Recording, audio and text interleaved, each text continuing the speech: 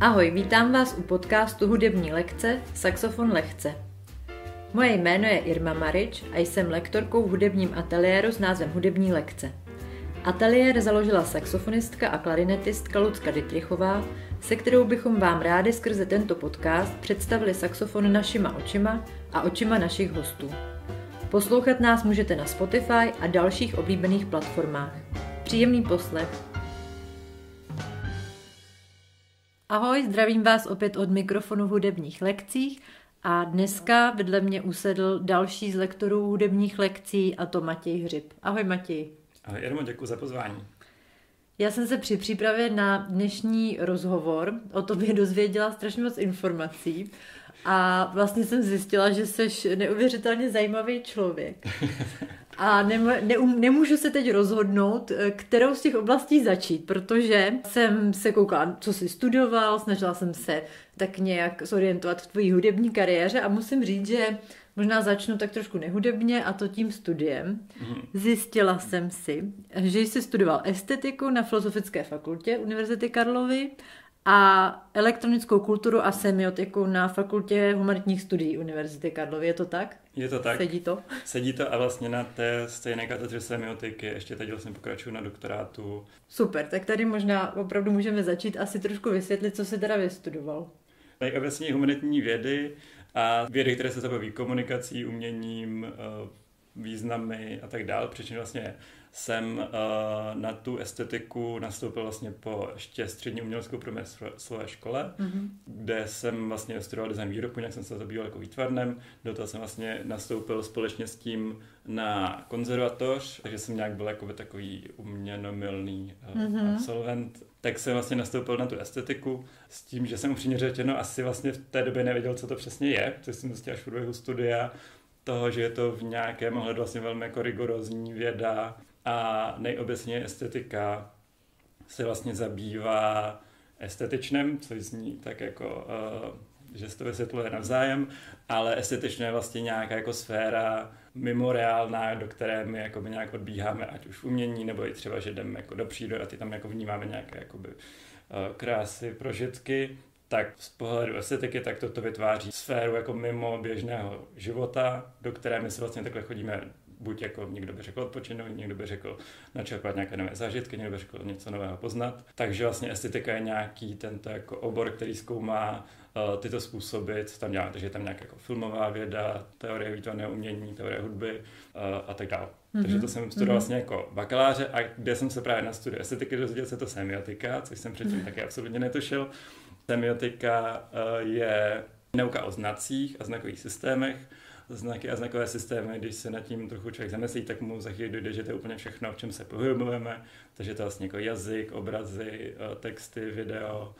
Takže já jsem vlastně na estetice zjistil, že tato věda existuje a vlastně přišlo mi to hrozně zajímavé s tím, že to je v něčem vlastně ještě obecnější, že ta estetika zaujímá právě v něčem hodně jako úzkou sférou toho jako zvlášť jako vysokého umění, nějaké jako klasické hudby. Zatímco ta sem je tak vlastně podobný pohled aplikuje skoro úplně na všechno a takže vlastně skrze nějaký její pojmy jde mluvit uh, společně o nevím, hudbě Richarda Wagnera a o Madoně a o dopravním přechodu třeba, a když to jako přeženu, takže to vlastně jde tam jako nějaké jako podobnosti, jak tam funguje, jak se tam vytváří význam, jak to komunikuje, proč tomu rozumím, proč nerozumíme, co se tam jako děje. Mm-hmm. A v tom mi to přijde vlastně hrozně zajímavé a baví mě to.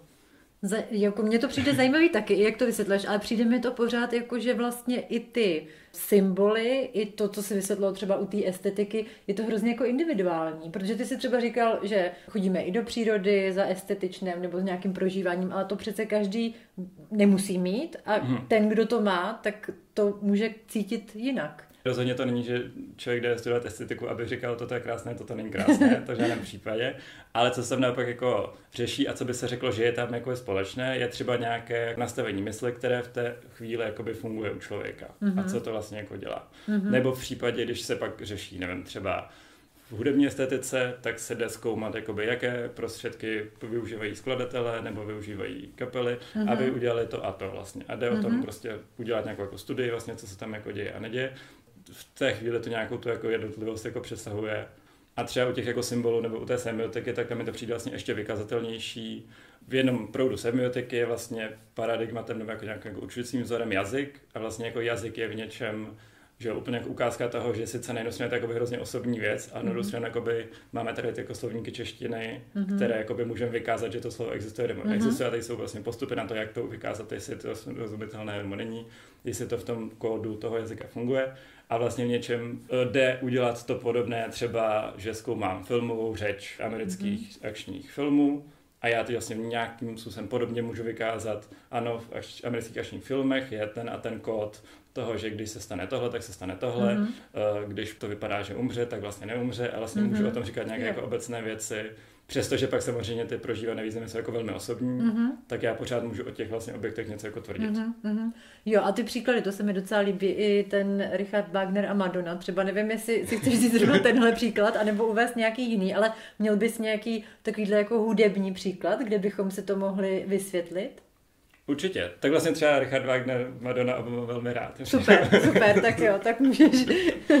Jsou mi se oba hodně zajímaví v tom, že třeba u nich jde jakoby zkoumat, jak vlastně oni tu hudbu jako využívají jako k nějakým jako úplně mimo hudebním účelům. Takže třeba Richard Wagner vlastně jakoby, jako filozof, dramatik, který mm. jako mhm. chce tady uh, nějakými prastarými mýty obrodit prostě německý národ 19. století mm-hmm. a řekne si ano a k tomu je vlastně nejlepší ta hudba, poněvadž to je taková emoční a teď nám vlastně jakoby můžete mít jako sdělit a může nás uvést do toho jako plného prožitku toho jako Gesamtkunstwerku, což je ten jako jeho pojem pro nějaké jako celistvé hudební divadlo, což jsou ty jeho opery. Mm-hmm. A teď vlastně jakoby píše tu hudbu tak, aby vlastně v nás právě jakoby nějak jako vytvořila tyhle jakoby pocity a přidala nám ideálně toto jakoby sdělení, když to hodně zjednoduším, což se mm-hmm. omlouvám všem lidem, co milují Wagnera, tak nám říká, že ně, německý národ je skvělý, a, nebo což samozřejmě pak trochu bylo zneužito jako později, ale je to tam jako v nějakém smyslu. Mm-hmm. A přesně tak třeba ta Madonna, tak zase tam jde zkoumat, že pro tu jasně ta hudba taky v něčem jako sekundární, ale zase s ní jako prostě pracuje, že jinak ona osobně si chce jakoby proslavit a chce být jakoby slavnou prostě mm-hmm. personou a opět jí k tomu ta služba, uh, hudba vlastně slouží poměrně jako dobře v tom, že se jakoby stane tou jako divou, která teď mm-hmm. teda mhm. se prezentuje, ale zároveň, kdybychom ji chtěli vzít jakoby pozitivně a říct třeba v čem byla nějak významná historicky, určitě, že jde tam vnímat nějaké jako feministické sdělení toho, mm-hmm. že ona byla ta jakoby silná emancipovaná žena, uh, která vlastně teď teda jakoby poskytovala těm ženám v těch 80. letech vlastně mm. jako nějaký prostor, jak se jako nějak emancipovat, no, jestli mě emancipovat, ale najít nějakou vlastní sílu třeba řekněme. A zase k tomu vlastně využívá tu hudbu, která tam mm. není ten cíl toho, že by to bylo pro hudbu samotnou, ale zase, že přesně tu hudbu jako k něčemu využívá a pak tam jde přesně zkoumat, jako jaké prostředky teda tu hudební používá pro to, aby ten Wagner vytvořil tady ten jako nějaký imerzní prožitek toho divadla, ta Madonna, aby vytvořila tady jakoby tělesný prožitek jakoby toho tance nebo hmm. jakoby toho sdělení a nějak to tím jako podpořila. A tady to, tady to tvoje vysvětlení mě přivádí na jednu otázku, jestli myslíš, že je důležitý, když budu chtít si zahrát nějakou skladbu od nějakého skladatele, něco si zjistit o tom člověku. Jo, mě to třeba právě pomáhá, jo, když vím, co tím jako básník chtěl říct, nebo mm. hudebník, takže jako to trošku pochopím a dokážu jako líp i tu věc zahrát, protože pochopím, eh, z jakého to je období, nebo eh, co právě tím chtěl vyjádřit. Tak jestli myslíš, mm-hmm. že mhm. tohle je třeba taky důležité, nebo jestli tobě to pomáhá i v tvojí interpretaci? Než to podpořím, tak bych se trochu vymezil vůči nějaké to jako úplně uh, vysvětlení skrze nějakou to jako biografii toho umělce, nebo mm-hmm. to, že vlastně, jo. že zase třeba u toho jakoby Wagnera, tak mm-hmm. kdybych jakoby ho hrál někde, mm-hmm. tak mi může být trochu jedno, že se jako by zrovna tady měl problémy prostě s manželkou, nebo teď se mm-hmm. stěhoval, teď mu nevyšla ta revoluce a tak dál. Ale co je pro mě důležité, je vlastně třeba, proč to jako dělá, že třeba u nějaké té klasičtější hudby, takže je rozdíl mezi tím, jestli ten skladatel chce třeba jakoby záměrně vyjádřit jako nějaké emoce, nebo naopak mm. je to pro ně nějaké takové jako hodně jako hravá věc. Pomůže to pochopit asi, že jo, plus se samozřejmě vždycky dozvíš no. něco nového, asi zajímavého. Určitě. No a Matěj, ještě prosím tě se vrátíme eh, trošku k tomu studiu, respektive k tvojí diplomové práci. Předpokládám teda, že to byla diplomová, když tak mě oprav. Sociální sítě a internetová kultura. Tu diplomku jsem psal o internetových memech. Tak, no, to mě tam právě zaujalo, to, to, mě, to mě zaujalo hodně, tak jestli to můžeš vysvětlit. Já, když se totiž řeknu memy, tak jakoby si představím ten obrázek, nebo eh, jako Jasně. nějaký jsem, tak si říkám, tak jak se o tomhle může jako psát diplomka, jak to jako se, zkoumáš. To téma, jednak když jsem s tím jako začal, tak jsem měl pocit, že o tom ještě nikdo nepíše, abych samozřejmě jako zjistil Mhm. v průběhu jako rešerše, že už o tom bylo napsáno poměrně dost, ale že to je právě jako nějaký jako kult, nový kulturní fenomén a nějaký jako nový kulturní jazyk, který se teď v posledních třeba už 15 letech vlastně jako rozvinul a jde Mhm. samozřejmě jako hledat nějaké jako návaznosti na předchozí jako věci, jako nějaké třeba zhášky z filmů nebo něco Mhm, takového, mhm. ale že jakoby v té jako čiré podobě, co chápem dneska jako memy, tak fakt jako bych identifikoval někde až jako po přelomu tisíciletí a v jakoby nejširší podobě až někde třeba 2010. Mhm. No A- i tak mi to přijde, jako jak jsi řekl 15 let, tak jsem se docela Už je to podivila. po- je to Mně to už- přijde, že to jako nemůže být takhle dlouho, ale asi jo, no, když Už to říkáš. poměrně jo, Mm. no. Nebo je pravda, že ještě v Čechách to mělo zase trošku Jo, jako vlastně spoždění, jakoby, Mm. ale už vlastně ne tak, tak moc takový. Mm, mm. No a takže vlastně, co já potom, že tady pomka jakoby, jenom co jsem tam zkoumal, tak jsou právě nějaký jakoby principy fungování jazyka, řekněme, nebo Mhm. mm-hmm. kultury, který jsou například uh, reapropriace, což znamená, že memy vlastně vždycky vznikají z něčeho. Že jako ne, nemám čistý papír a na ten jakoby Mhm. mm-hmm. nakreslím mem, ale že mem vlastně vždycky je nějaká jako využití nějakého předchozího materiálu, který vlastně proto jako nebyl určen. Mm-hmm. Že ten Mhm, obrázek, když se na něj vzpomeneš, tak často Jo. bude třeba nějaký screenshot z nějakého filmu, Jo. který původně vůbec nebyl zamýšlený, aby ho někdo takhle využil. A ten vlastně najednou, jako, mm-hmm. tak to je třeba jedna věc, co jde nějak ještě složitěji vlastně popsat, co se Jasně. tam jako děje a hledat, jako nějak popisovat ty vztahy právě mezi tím původním textem a mezi tím novým textem toho memu. Mhm. Nebo další zajímavá věc je nějaký, to se tam nazývá jako principem kolektivismu, což vlastně, že memy jsou vždycky jako v množném čísle a ne, vlastně neexistuje jako jeden mem. Emma Smetana před hořící katedrálou je mem, tak to je mem jenom proto, že je těch memů hodně. Ta první samotná fotka, kterou všichni vlastně upravovali, tak to Mhm. mem jako ještě nebyl. Že Mhm. mm-hmm. mem se to stalo ve chvíli, Je kde takhle. se to stane jako tím kolektivním Jo. jazykem. A to pak jde potom to vlastně jako zkoumat, že jo, třeba nějaké jako vztahy subkultur a kultury. Vlastně k, k tomu memu, že to funguje třeba hrozně jako zajímavě v tom, že já přesně jako musím vlastně vědět, že to je mem, abych já chápal, že to je vtip. Takže kdyby Jo. člověk, co neslyšel o Emě Smetaně Jo. před hořící katedrálou mm-hmm. a nevěděl, že to je mem, tak vlastně mu to vůbec jako nedojde a půlka Jo. těch výz, nebo většina těch významů, co tam je, tak vlastně vůbec neví, co jsou. No jasně, no, to se mi taky stalo, že mi třeba někdo poslal nějaký mem a vůbec jsem to nepochopila, co tím chtěl Stává se to často a vlastně tam je jako zajímavý, že to jde vlastně díky tomu, vlastně využije jako nějaký jako tajný jazyk v vozovkách, Mhm. což dneska už taky to funguje trochu jinak a za třeba kolem ne, 2015, tak to hodně využívali, že zvlášť jako náctiletí vlastně jako by lidi na internetu, kdy vlastně tam to řeší ten problém toho, že najednou je všechno jako hrozně přístupný, jakoby technologicky a Mhm. teď přesně, že může na váš profil jít vaše babička a zjistit vlastně, co tam jako píšete. Řešení toho vlastně není to jakoby skrýt jakoby fyzicky, že by to Mhm. vůbec neviděla, ale řešením toho je vytvořit jako nějaký kód, který ona vlastně vůbec jako nepochopí, Jo, jo, vlastně, jo, jo. co tam je a skryt vlastně před těma jako Mhm. očima, přímo, že ona jako to přece vidí, ale jenom tomu jako Nechápe nerozumí, to. ale Mhm. nechápe to. Mhm. Takže tam třeba ty jakoby memy taky myslím fungují velmi jako zajímavě. Takže to je vlastně takový jako prostředek vyjádření taky, že jo. Jo, A ty používáš memy ve své komunikaci? používáme ve své komunikaci, ale přiznám se, že je vlastně vůbec netvořím a že mě to jakoby Mhm. spíš jako zajímalo přesně jako nějaký jako zajímavý Jo. kulturní fenomén, kde se ještě jako spoje spoustu nějakých témat, co mě zajímá, což je Mhm. právě nějaká ta jako řekněme, kolektivní kultura, nebo že tam jako zase není, že třeba autorství, jako že by byl skladatel a skladba, takže Mhm. mm-hmm. tvůrce memu jakoby taky, teď už je to taky víc, že jsou, že, že sledujeme TMBK nebo nějaký Mhm. mm-hmm. jakoby lidi, co víme, že to oni dělají ty memy, ale v nějaké takové základní podobě vlastně je to nějaká tako kolektivní lidová kultura a plus se tam nějak promítají uh, vlastně témata nějaké demokratizace médií, toho vlastně, že s- Mhm. na svém internetu a digitalizací vlastně o to je tolik jednodušší tvořit vlastně média a celé se tam nějak, nějak promítá, takže o tom jsem psal a Mhm. nějak to popisoval. A... Docela mám chuť se to přečíst, jako musím říct, že, že jsi mě takhle zaujal tím, jak to vyprávíš. No a tohle teda všechno se nějakým způsobem jakoby studoval teoreticky, využíváš tyhle svoje znalosti ve své praxi současný? Nebo vlastně, co děláš teďka za práci? Pracích jsem měl několik, teď už jich Mhm. nemám tak moc a to vlastně i díky tomu doktorátu, že mi to nějak Mhm. dovolilo jako si uvolnit ruce, ale třeba předtím jsem několik let dělal v nadaci Bohuslava Martinu Mhm. a pak i v institutu Bohuslava Martinu, kde si myslím, že se určitě jako využíval s tím, že moje pozice tam byla komunikace a PR, Mhm. mm-hmm. něco takového, takže já jsem vlastně jako, že tam poměrně spojil tyhle světy, že jsem měl ty jako eh, klasickou hudební vlastně znalosti jakoby z konzervatoře o tom, že jsem jako věděl, co Mhm. se jako jedná. Minimálně mi to pomohlo jakoby lépe komunikovat, si myslím, Mhm. nebo že minimálně jako napadaly problémy třeba, které by tam mohlo mít, takže už jsem jako předem řešil a nějak to jako uh, zkoumal, ale zároveň jsem jako nestudoval jsem marketing a ať se to může překrývat, tak mm-hmm. to mhm. je spíš jako teoretický obor. Potom vlastně teda učím lekcí, k čemu se určitě mm-hmm. taky dostaneme. A pak ještě, co mám teď aktuální práce, což je taková jako maličká, asi pár hodin měsíčně vlastně. A to je, že jsem v neziskové organizaci Injusticia, která uh, se zabývá předsudečným násilím a má vlastně jako právní poradnu, psychologickou poradnu. A já jsem tam na pozici, která taky zní hodně jako vtipně, a to je peer pracovník pro queer komunitu, uh, což znamená, že mám vlastně šířit hlavně jak veletáčkama, plagátama, ale i nějak jako osobní uh, informace o tom, že existuje tato poradna a že jakoby můžeme po- pomoct lidem, kteří jsou jakoby napadený z důvodu jejich mm-hmm. sexuální orientace, genderové identity. Obecně ta poradna vlastně jakoby pomáhá i třeba lidem, co jsou napadení z důvodu barvy pleti, mm-hmm. náboženského vyznání a, mm-hmm. a tak mhm. dále.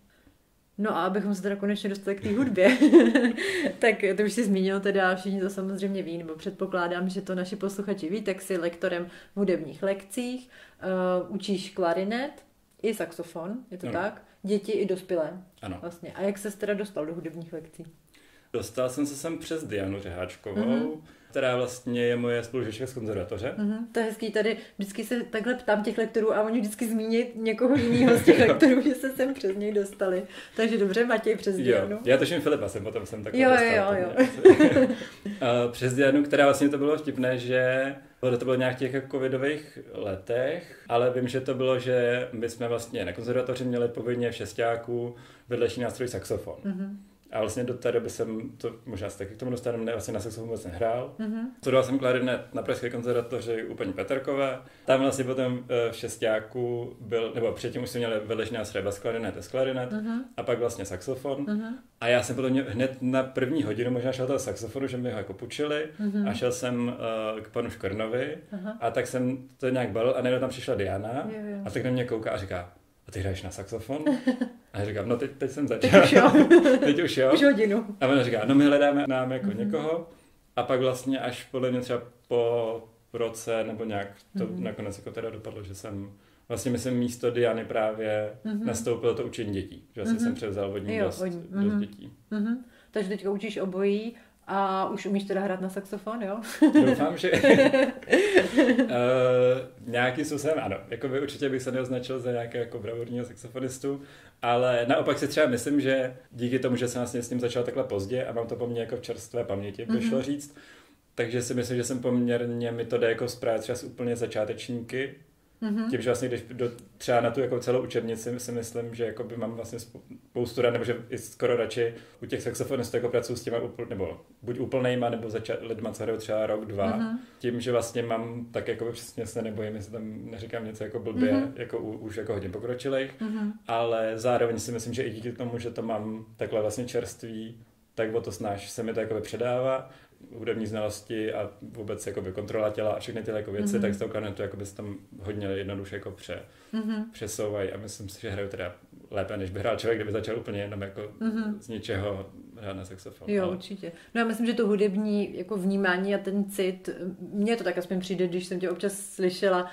někomu něco vysvětlila, tak to, že umíš jako fakt krásně vysvětlit a to se samozřejmě dá aplikovat jako na všechny nástroje, nebo tady v svém případě teda na klarinet i saxofon. Jo teď poslední dobou nějak nacházím novou metodu, že vlastně jakože jakmile nám něco nejde, tak vlastně často na ty nástroje vůbec jako nehrajem se studentama, mm-hmm. třeba rytmus je takhle hrozně často, že vlastně mi přijde, že potom je ten nástroj jenom jakoby maté a vlastně je to o to těžší, takže často teď úplně zpíváme, tleskáme, něco vlastně jako děláme jakoby hudebního, ale nenutním se nástrojem a když to pochopíme, tak teprve jdeme jakoby k tomu mm-hmm. nástroji.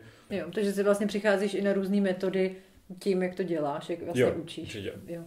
A ty si dal dohromady i studentský klarinetový orchestr, je to tak? Byl to tvůj nápad? Tak jako na půl. Bylo to, že jsem vlastně jsem jako nastoupil, byl tady saxofonový orchestr, mm. ve mhm. kterém byly i klarinety, mm-hmm. což mi jako přišlo fajn, tak jsem si do toho nějak zapojil. A pak trošku bych to asi svedl i na Aju Štěpánkovou, mm-hmm, jestli mm-hmm. můžu takhle eh, no, určitě. zmínit, která vlastně jako nastoupila jako nová studentka někdy v lednu, tuším, která byla mm-hmm. taková hodně motivovaná, už byla hrozně dlouho hrála, teď se tomu chtěla hodně věnovat. A myslím, že hodně na její poput plus ještě i Hanky a dalších, vlastně pokročilejších, vzniklo, že vlastně v tom saxofonovém orchestru si až tak moc nezahrajou, nejsou tam mm-hmm. slyšet a zároveň tím, že ten saxofonový orchestr vlastně pro začátečník, řekněme, nebo pro středně pokročilý, tak zvláště klarinety vlastně nemají vůbec žádný těžký hraní. Mm-hmm. A proto vlastně vzniknul ten klarinetový soubor, kde teď určitě tím nechci odrazovat začátečník na klarinet a máme to tam naopak dost jako rozdělený, že dvě, tři skladby máme hodně jednoduché, že je zahrají úplně všichni, mm-hmm. pak jednu takovou střední a jednu teď uh, cvičíme Pragershuna, který myslím, že všichni se na tom hodně jako zapracovali, mm-hmm. ale my, jsem rád, že to nakonec jako dopadne a vypadá to, že teď to bude znít hezky. Mm-hmm. A ty sám hraješ v nějakých hudebních tělesech nebo vystupuješ někde třeba i sám? Uh, teďkon občas hrávám s jedním kamarádem čelistou, mm-hmm. což je taková zvláštní kombinace trochu klarinet, mm-hmm. čelo, máme hodně omezený repertoár, který ale chceme právě nějak jako rozšiřovat nějakými jako úpravami a tak. A s ním to bývá nějak jako vernisáže. Mm-hmm. Teď jsme hráli nedávno na Nekostelu, což je taková vlastně akce, co pořádají v Roxy, tuším, mm-hmm. kde to byla prostě přednáška Tomáše Sedláčka, který tam něco vyprávěl o ekonomii Genesis nebo něco mm-hmm. takového.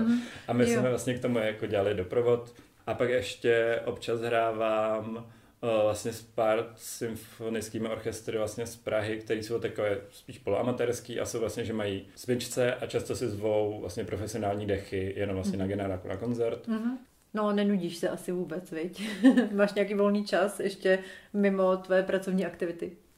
Celkem jo, nebo teď jsem naopak si to teď užívám, eh, že právě jak jsem jako studoval dohromady tu a konzervatoř, mm-hmm. tak tam jsem pravda moc volného času neměl ale teď si užívám tento rok, že právě jsem na tom doktorátu, který je sice, že tady jakoby studuju, ale není to vlastně až tak hektické, mm-hmm. zároveň jsou z toho nějaké příjmy, takže si mm-hmm. nemusím to vykrývat ještě prací jako vedle, takže naopak teď si jako super. užívám, že, uh, že mám volnějc, že chodím s kamarády někam do divadla, do kina a, a tak dále. Tak Mati, úplně poslední otázka, na kterou se ptám eh, všech hostů, pokud si poslouchal nějaký podcast, tak asi víš, co tě čeká. Co pro tebe znamená hudba? Tak já děkuji za tuto otázku a já to možná uvedu, což už tady v tom podcastu teď zaznělo, že jsem studoval tu estetiku a všechny mhm. tyhle věci. Takže já o to mám mnoho názorů, které rád zazdílím, přičemž ty mě mnoho názorů nebudou nutně moje, ale spíš jakoby načteny z nějakých jako knížek. U toho hlavně vycházím z jednoho textu Hanse Egebrechta, což takový jako německý hudební teoretik, řekněme, který tvrdí, a já s ním souhlasím, že hudba je hra, co je pak zajímavé, je to jako rozvinout, co to teda znamená. Hra implikuje to, že je to nějaká právě to jako estetično, to jako mimo realitu, že se jako hraje na něco, že, že když se hrajou děti, tak mm-hmm. se mhm. jako hrajou na něco, mm-hmm. nebo mhm. když se hrajou šachy, tak je tam vlastně nějaký ten jako vnitřní svět. Takže to vlastně hudba je tady jako hra, která nás přenáší někam jako vedle do nějakého mm-hmm. toho jako světa těch zvuků, které vlastně se vytváří. Co je další věc, je, že hra má nějaké pravidla, mm-hmm. které vlastně jako určují pravidla toho světa. V západní hudbě celá ta jakoby, harmonie, melodie, všechny tyhle jakoby, disciplíny. Zároveň hudba je hra i ve smyslu právě, že se hraje, mm-hmm. že my si hrajeme, že se hraje mezi lidmi. Zároveň se mi přijde nejdůležitější, že nás to baví. A že mhm. vlastně mm. je to jako nějaká věc, co děláme právě ve volném čase, abychom se jako měli hezky. Mm. A to mi vlastně přijde hrozně jako sympatické právě na lekcích, eh, že se snažíme nějak vést studenty k nějaké jako technickému pokroku nebo k tomu, aby jako se jim hrál co nejlépe, aby to zahrál co nejvíc ale zároveň, že ten hlavní účel mm-hmm. je tady postaven, myslím, pro všechny, že to má být ta hra a že se máme jako ideálně u toho sejít, mít se hezky a zahrát se společně. S tím určitě souhlasím. Tak moc děkuji Matěji. Děkuji i vám, že jste doposlouchali až do konce a budeme se těšit příště. Mějte se hezky. Ahoj. Taky moc děkuji. Mějte se. Ahoj.